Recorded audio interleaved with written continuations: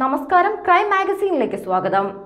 S P മുതലുള്ള ഉദ്യോഗസ്ഥരുടെ യോഗം വിളിച്ച് D G P Anil Kant S P D I G I G A D G P തുടങ്ങിയ ഉന്നത ഉദ്യോഗസ്ഥരാണ് യോഗത്തിൽ പങ്കെടുക്കുക. തിരുവനന്തപുരത്തെ പോലീസ് ആസ്ഥാനത്ത് വെള്ളിയാഴ്ചയാണ് യോഗം ചേരുക. തുടർച്ചയായി പോലീസിന് വീഴ്ച പറ്റുന്ന സാഹചര്യത്തിലാണ് ഡി യോഗം വിളിച്ചിരിക്കുന്നത്. സി പി എം ഏരിയ സമ്മേളനത്തിൽ ആഭ്യന്തര വകുപ്പിനെതിരെ രൂക്ഷമായ വിമർശനങ്ങൾ ഉയർന്നിരുന്നു. ഈ അടുത്ത് ഏറെ ചർച്ച ചെയ്യപ്പെട്ട കേസുകളിലെല്ലാം പോലീസിന് വീഴ്ച സംഭവിച്ചു. ഓരോ കേസിലും അത് ഏത് രീതിയിൽ ഇടപെടണമെന്ന മാർഗനിർദ്ദേശം പോലീസിന് നൽകിയിട്ടുണ്ട്.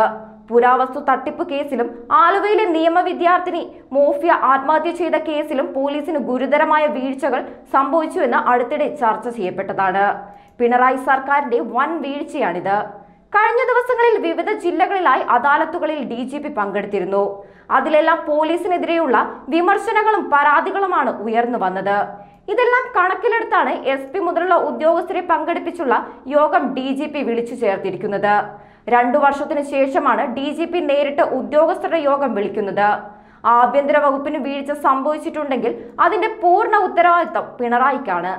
ഇതുപോലൊരു അവസ്ഥ ഇതിനു മുമ്പ് ഉണ്ടായിട്ടില്ല. പോലീസിന് മേൽ സർക്കാരിന് നിയന്ത്രണം നഷ്ടമായെന്നും പോലീസ് സ്റ്റേഷനിൽ സാധാരണക്കാരന് നീതി കിട്ടുന്നില്ലെന്നും ഏരിയ സമ്മേളനത്തിൽ വിമർശനം ഉയർന്നിരുന്നു.